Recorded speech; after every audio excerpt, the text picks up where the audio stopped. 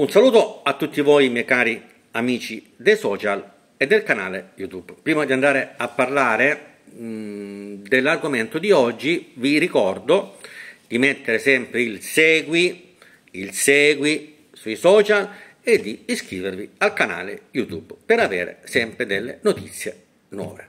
Che cosa è successo? Mentre la RAI annaspa, non parte ancora con i suoi programmi, anzi c'è molta incertezza sul palinsesto annunciato in precedenza, Mediaset è partita. È partita con uomini e donne di cui poi andremo a parlare dopo, dove ha stravinto Maria De Filippi, quindi per Silvio Berlusconi ha perso, è stato distrutto, ed è partito anche il Grande Fratello. Io di quello oggi vorrei parlare, perché il mondo gay massacra Alfonso Signorini, anzi rinnega Alfonso Signorini per l'assenza della comunità LGBT nel Grande Fratello. È stato chiamato pelato infame, vigliacco, rinnegato, bastardo, gliene avete dette di tutti i colori. Poi tutti i particolari, per chi volesse vedere il video, stanno nel video. Perché ve la siete presa con un vostro compagno, voglio dire, o amico o simpatizzante o naturalizzante o nature gay come voi. Perché non c'è qualcuno come l'anno scorso non c'è la trans non c'è la lesbica non c'è il gay non c'è la bisex eccetera. Infatti l'anno scorso il programma è stato un programma trash. Vi posso assicurare Prima di andare a parlare di Alfonso Signorini nel dettaglio, per farvi capire chi è e quanto fa per voi, mi riferisco ai gay e alla comunità LGBT, che sono miei carissimi amici e io ne ho tanti amici e sono con i vostri diritti civili e con le vostre battaglie che dal 70 portate avanti e dovete sempre più portare avanti, però nella decenza, nella decenza. E quello che forse è stato il messaggio che voi non avete capito di per Silvio Berlusconi. Non sono necessarie paillette, eh, vestitini, vestitelli, eh, orecchini, orecchioni, tutte queste non esistono. Dovete essere persone normali, dovete vivere la vostra omosessualità, la vostra sessualità diversa dall'etero in maniera normale, basta pagliacciate. E questo il messaggio di Silvio Berlusconi. Poi lasciamo stare la storia che Grande Fratello vuole raccontare storie, sono storie per... Vi posso garantire che Alfonso Signorini ha provato nelle sue liste di mettere all'interno ehm, esponenti del mondo LGBT, voleva mettere Ivan Cattaneo, non è stato possibile, voleva rimettere Scialpi, non è stato possibile, voleva mettere Alessandro Cecchi Paone insieme al compagno e non è stato possibile, vi faccio altri nomi se volete, tutti esponenti del mondo LGBT, anche qualche trans eh, voleva mettere, quindi. E non è riuscito perché le liste venivano cancellate. Non era più, infatti l'avete visto quando ha condotto il Revedo, era impacciatissimo.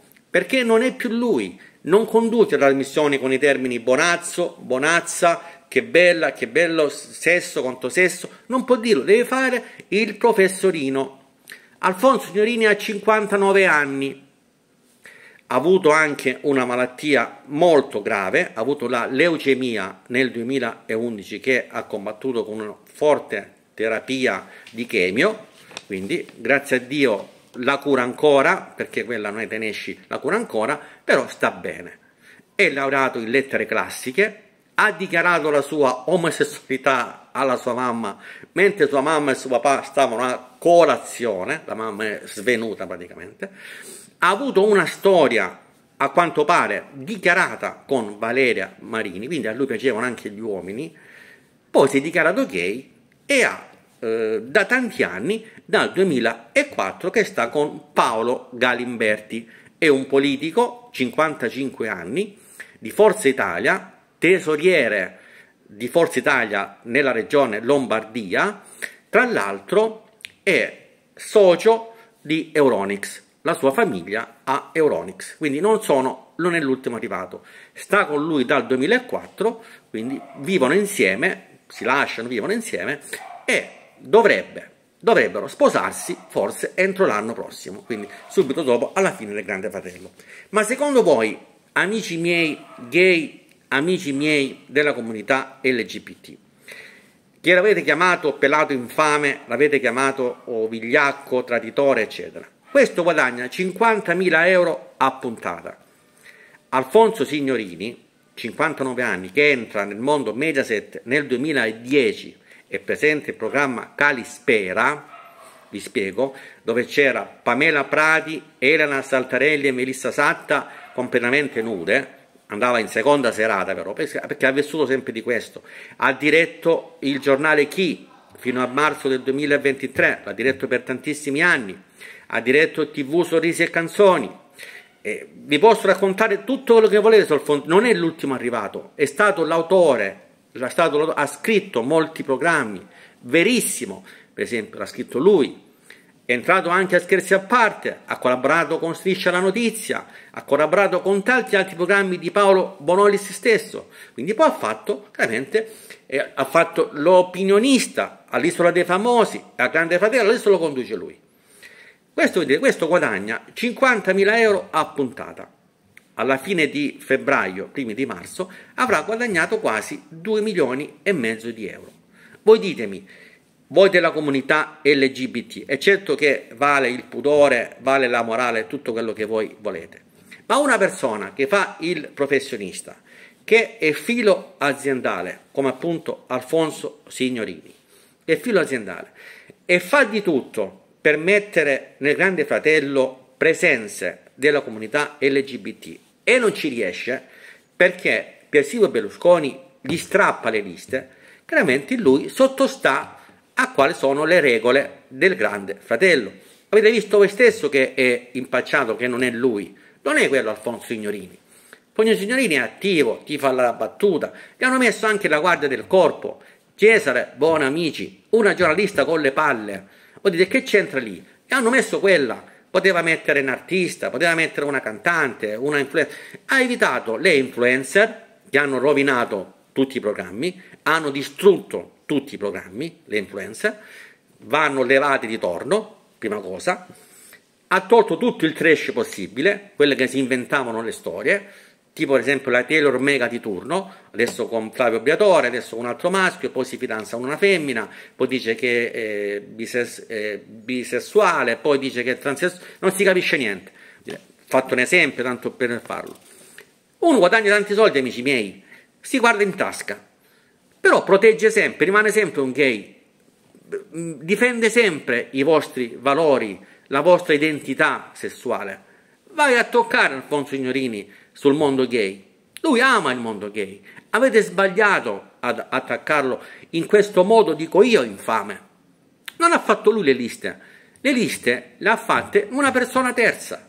Perché quando gli ha presentato le prime due o tre liste che per Silvio Berlusconi ha strappato, perché il programma di punta, il programma di punta del Grande Fratello, eh, del, di Mediaset, sarà il Grande Fratello e i 3-4 puntate che farà Checco Zalone. Queste saranno le due, secondo me, il summit, il massimo che potrà avere quest'anno Mediaset. Poi ci saranno delle fiction, gli altri programmini, se tornerà, spero, Gerry Scotti, voglio dire, Paolo Bonolis con il suo trash, con il suo trash, non è stato toccato, poi ne parleremo anche di questo perché è azionista. Dimenticavo che Signorini è anche socio con la Mondadori dell'Agency Talent. Lui trova volti nuovi trova giovani da lanciare nel mondo del cinema, dello spettacolo, della web, della tv, eccetera. Non è l'ultimo arrivato, non è assolutamente un pelato infame, è uno che ama la televisione e uno che adesso deve fare il professorino. Questo gli è stato chiesto e infatti sta facendo male. Gli audience sono stati 3 milioni di persone che hanno guardato il Grande Fratello il 23,1%, ma è andato meglio Montalbano su Rai 1. Pensateci amici, pensateci. Alla prossima, vi voglio bene.